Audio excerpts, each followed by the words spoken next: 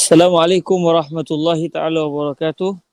بسم الله الرحمن الرحيم. الحمد لله رب العالمين.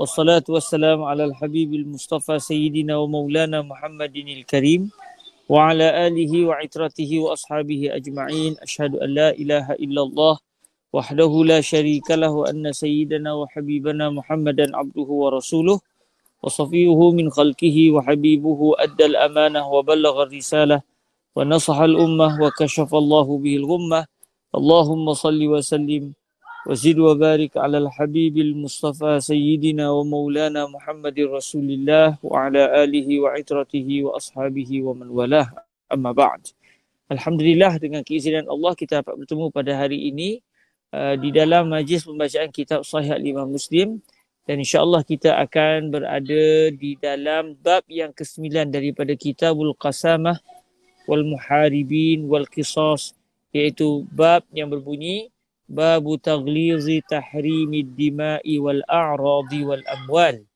sayyidina al imam muslim ibn al hajjaj ibn muslim al kushairi النيسابوري رحمه الله سبحانه وتعالى ونفعنا الله بعلومه وعلوم مشايخه وتلامذته وقراء صحيحه وسائر مصنفاته وشراحها اللهم آمين. قال حدثنا أبو بكر بن أبي شيبة ويحيى بن حبيب الحارثي وتقاربا في اللفظ. قال حدثنا عبد الوهاب الثقفي عن أيوب عن ابن سيرين عن ابن أبي بكرة عن أبي بكرة رضي الله تعالى عنه عن النبي صلى الله عليه وآله وسلم أنه قال إن الزمان قد استدار كهيئته يوم خلق الله السماوات والأرض. السنة اثنا عشر شهرا منها أربعة حرم ثلاثة متواليات ذو القعدة وذو الحجة والمحرم ورجب شهر مضر الذي بين جمادى وشعبان. ثم قال أي شهر هذا؟ قلنا الله ورسوله أعلم. قال فسكت حتى ظننا أنه سيسميه بغير اسمه. قال أليس ذا الحجة؟ قلنا بلى. قال فأي بلد هذا؟ قلنا الله ورسوله أعلم. قال فسكت حتى ظننا أنه سيسميه بغير اسمه. قال أليس البلدة؟ قلنا بلى. قال فأي يوم هذا؟ قلنا الله ورسوله أعلم. قال فسكت حتى ظننا أنه سيسميه بغير اسمه. قال أليس يوم النحر؟ قلنا بلى يا رسول الله. قال فإن دماءكم وأموالكم. قال محمد وأحسبه. قال وأعراضكم. حرام عليكم.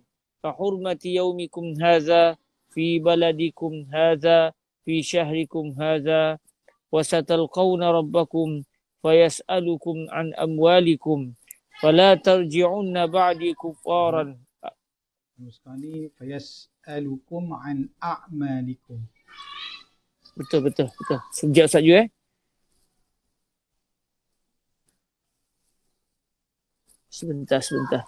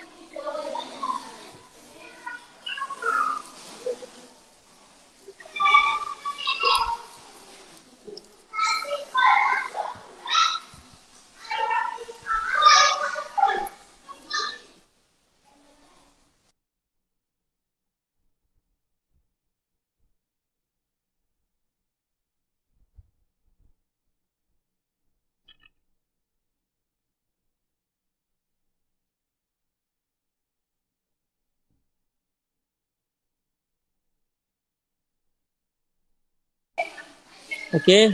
Uh, tak, Sama Saju. Suara suara okey Saju. Ah, okey. Hujan pula di luar tadi eh. Tak lewat outdoor, kena bawa masuk indoor. Khair, khair. okey, sekali lagi eh. Hmm, Ya Allah. Di mana tadi? Uh, tadi fayas'alukum an a'malikum. طيب آه قال فإن دماءكم وأموالكم قال محمد وأحسبه قال وأعراضكم حرام عليكم كحرمة يومكم هذا في بلدكم هذا في شهركم هذا وستلقون ربكم فيسألكم عن أعمالكم فلا ترجعن بعدي كفارا أو ضلالا يضرب بعضكم رقاب بعض. ألا ليبلغ الشاهد الغائب؟ فلعل بعض من يبلغه يكون أوعى له من بعض من سمعه. ثم قال يا saya di sini man yubalaghuhu.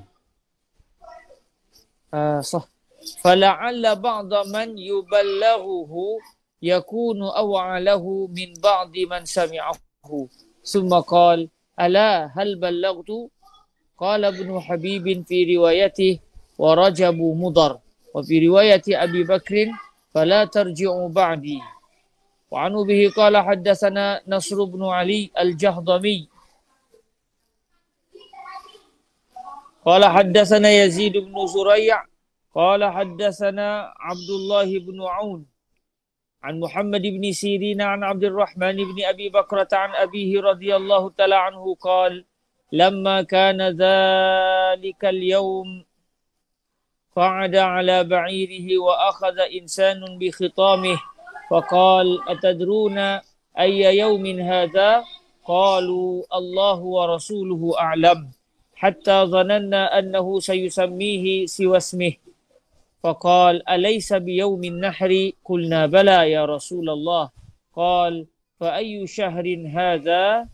قلنا الله ورسوله أعلم. قال أليس بذي الحجة؟ قلنا بلى يا رسول الله. قال فأي بلد هذا؟ قلنا الله ورسوله أعلم. قال حتى ظننا أنه سيسميه سوى اسمه. قال أليس بالبلدة؟ قلنا بلى يا رسول الله. قال فإن دماءكم وأموالكم وأعراضكم عليكم حرام كحرمة يومكم هذا في شهركم هذا في بلدكم هذا فليبلغ الشاهد الغائب. قال ثم انكفأ إلى كبشين أملحين فذبحهما وإلى جزيعة من الغنم فقسمها. بيننا.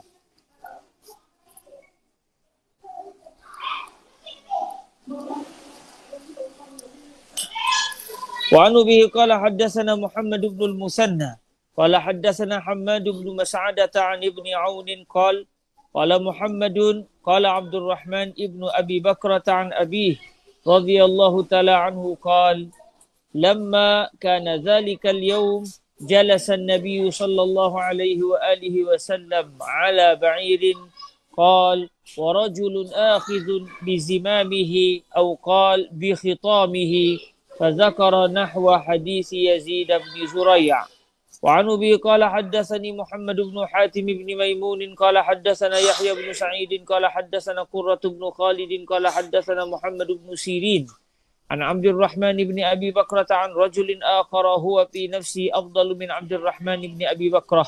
حا قال وحدثنا محمد بن عمرو بن جبلة وأحمد بن خراش قال حدثنا أبو عامر عبد الملك بن عمرو قال حدثنا قرة بإسناد يحيى بن سعيد وسمى الرجل حميد بن عبد الرحمن.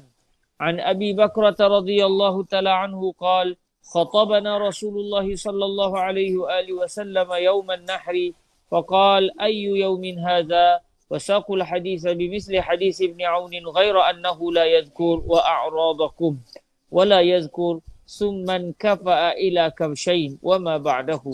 وقال في الحديث كحرمة يومكم هذا في شهركم هذا في بلدكم هذا إلى يوم تلقون ربكم ألا هل بلغت قالوا نعم. قال اللهم فاشهد. Silakan Ustaz Juzali dalam nuskhah ni tak ada uh, tak ada fashhad dah Allahumma Allahumma shhad طيب uh, وبإليه قال باب صحة الإقرار بالقتل وتمكين ولي القتيل من القصاص واستحباب طلب العفو منه وعن أبي قال حدثنا عبيد الله بن معاذ العنبري قال حدثنا أبي قال حدثنا أبو يونس عن سماك بن حرب أن علقمة بن وائل حدثه أن أباه حدثه قال إني لقاعد مع النبي صلى الله عليه وآله وسلم إذ جاء رجل يقود آخر بنسعة فقال يا رسول الله هذا قتل أخي. فقال رسول الله صلى الله عليه وآله وسلم أقتلته؟ فقال إنه لو لم يعترف أقمت عليه البينة. قال نعم قتلته. قال كيف قتلته؟ قال كنت أنا وهو نختبط من شجرة فسبني فأغضبني فضربته بالفأس على قرنه فقتلته. فقال له النبي صلى الله عليه وآله وسلم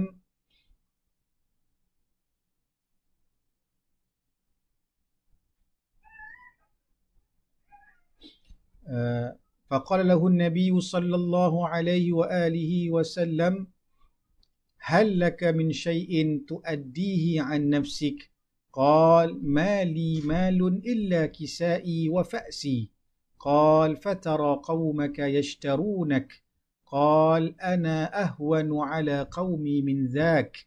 فرمى إليه بنسعته وقال دونك صاحبك. فانطلق به الرجل فلما ولى قال رسول الله صلى الله عليه وآله وسلم إن قتله فهو مثله. فرجع فقال يا رسول الله إنه بلغني أنك قلت إن قتله فهو مثله وأخذته بأمرك فقال رسول الله صلى الله عليه وآله وسلم أما تريد أن يبوء بإثمك وإثم صاحبك؟ قال يا نبي الله. لعله قال بلى. قال فإن ذاك كذاك. قال فرمى بنسعته وخلى سبيله. وعنه بي قال وحدثني محمد بن حاتم قال حدثنا سعيد بن سليمان قال حدثنا هشيم قال أخبرنا إسماعيل بن سالم عن علقمة بن وائل عن أبيه قال أتي رسول الله صلى الله عليه وآله وسلم برجل قتل رجلا فأقاد ولي المقتول منه فانطلق به وفي عنقه نسعة يجرها. فلما أدبر قال رسول الله صلى الله عليه وآله وسلم القاتل والمقتول في النار فأتى رجل الرجل فقال له مقالة رسول الله صلى الله عليه وآله وسلم فخلى عنه.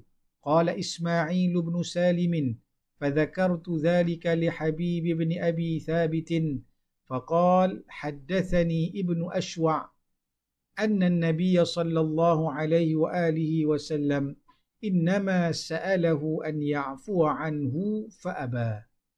باب دية الجنين ووجوب الدية في قتل بل باب دية الجنين ووجوب الدية في قتل الخطأ وشبه العمد على عاقلة الجاني.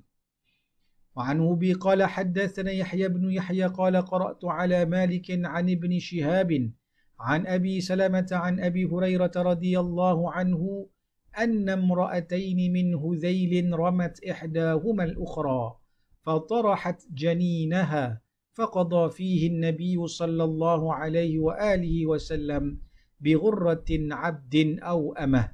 وعنه بي قال وحدثنا قتيبة بن سعيد قال حدثنا ليث عن ابن شهاب عن ابن المسيب عن أبي هريرة رضي الله عنه أنه قال قضى رسول الله صلى الله عليه وآله وسلم في جنين امرأة من بني لحيان سقط ميتا بغرة عبد أو أمة. ثم إن المرأة التي قضي عليها بالغرة توفيت فقضى رسول الله صلى الله عليه وآله وسلم بأن ميراثها لبنيها وزوجها وأن العقل على عصبتها. وعن أبي قال وحدثني أبو الطاهر قال حدثنا ابن وهب. حا. قال وحدثنا حرملة بن يحيى التجيبي قال أخبرنا ابن وهب قال أخبرني يونس عن ابن شهاب عن ابن المسيب وأبي سلمة بن عبد الرحمن أن أبا هريرة رضي الله عنه قال اقتتلت امرأتان من هذيل فرمت إحداهما الأخرى بحجر فقتلتها وما في بطنها. فاختصموا إلى رسول الله صلى الله عليه وآله وسلم. فقضى رسول الله صلى الله عليه وآله وسلم أن دية جنينها غرة عبد أو وليدة وقضى بدية المرأة على عاقلتها وورثها ولدها ومن معهم. فقال حمل بن الناب فقال حمل بن النابغة الهذلي يا رسول الله كيف أغرم من لا شرب ولا أكل ولا نطق ولا استهل؟ فمثل ذلك يطل. فقال رسول الله صلى الله عليه وآله وسلم إنما هذا من إخوان الكهان من أجل سجعه الذي سجع. وعنه بي قال وحدثنا عبد بل وعنه بي قال وحدثنا عبد بن حميد قال أخبرنا عبد الرزاق قال أخبرنا معمر عن الزهري عن أبي سلمة عن أبي هريرة رضي الله عنه قال اقتتلت المرأتان وساق الحديث بقصته ولم يذكر وورثها ولدها ومن معهم. وقال فقال قائل كيف نعقل ولم يسمي حمل بن مالك؟ وعنه بي قال حدثنا إسحاق بن إبراهيم الحنظلي قال أخبرنا جرير عن منصور عن إبراهيم عن عبيد بن نضيلة الجزاعي عن المغيرة بل عن المغيرة بن شعبة.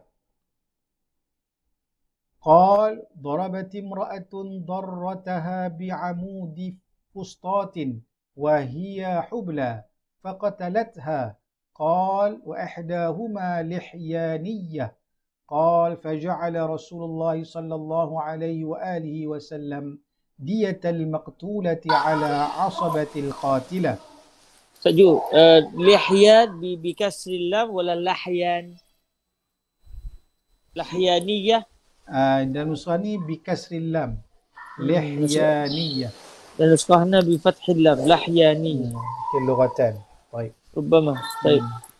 جزاك الله خير. قال وإحداهما لحيانية وفي نسخة وإحداهما لحيانية.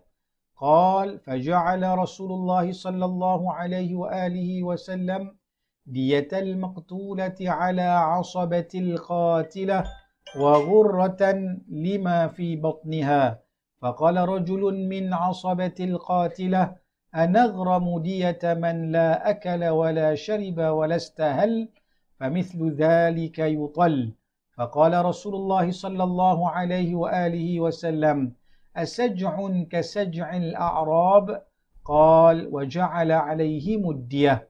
وعنه بي قال وحدثني محمد بن رافع قال حدثنا يحيى بن آدم. قال حدثنا مفضل عن منصور عن إبراهيم عن عبيد بن بل عن عبيد بن نضيلة عن المغيرة بن شعبة أن امرأة قتلت ضرتها بعمود فسطاط فأتي فيه رسول الله صلى الله عليه وآله وسلم فقضى على عاقلتها بالدية وكانت حاملا فقضى في الجنين بغرة فقال بعض عصبتها أندي من لا طعم ولا شرب؟ ولا صاح فاستهل ومثل ذلك يطل. قال فقال سجع كسجع الأعراب. وعن أبي قال حدثني محمد بن حاتم ومحمد بن بشار. قال حدثنا عبد الرحمن بن مهدي عن سفيان عن منصور. بهذا الإسناد مثل معنى حديث جرير ومفضل. وعن أبي قال وحدثنا أبو بكر بن أبي شيبة ومحمد بن المثنى وابن بشار قالوا حدثنا محمد بن جعفر عن شعبة عن منصور بإسنادهم الحديث بقصته غير أن فيه فأسقطت فرفع ذلك إلى النبي صلى الله عليه وآله وسلم.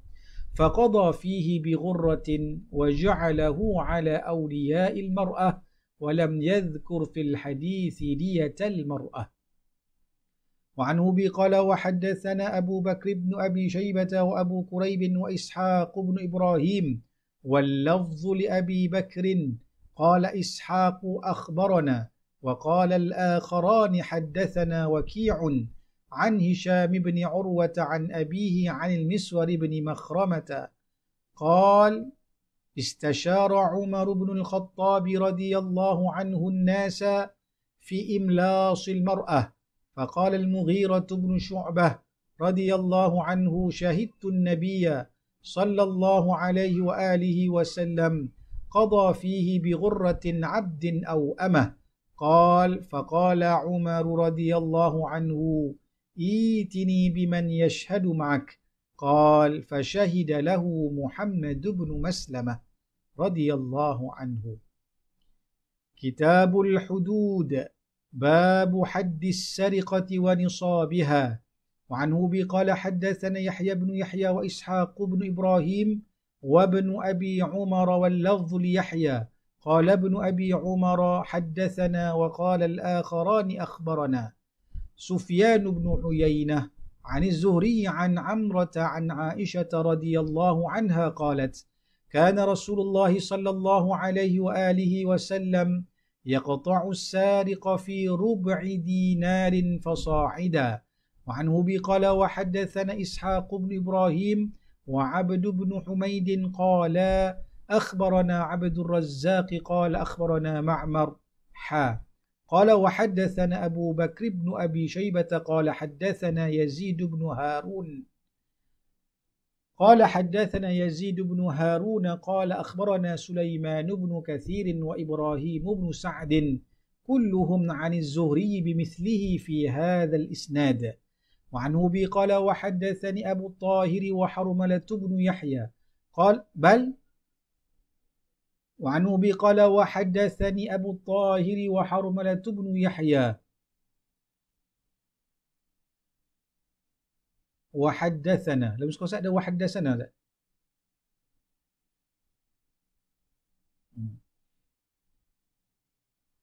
قال وحدثنا الوليد بن شجاع واللفظ للوليد وحرملة قالوا حدثنا ابن وهب قال أخبرني يونس عن ابن شهاب عن عروة وعمرة عن عائشة رضي الله عنها عن رسول الله صلى الله عليه وآله وسلم قال لا تقطع يد السارق إلا في ربع دينار فصاعدا. وعنه بي قال وحدثني أبو الطاهر وهارون بن سعيد الأيلي وأحمد بن عيسى واللفظ لهارون وأحمد. قال أبو الطاهر أخبرنا وقال الآخران حدثنا ابن وهب.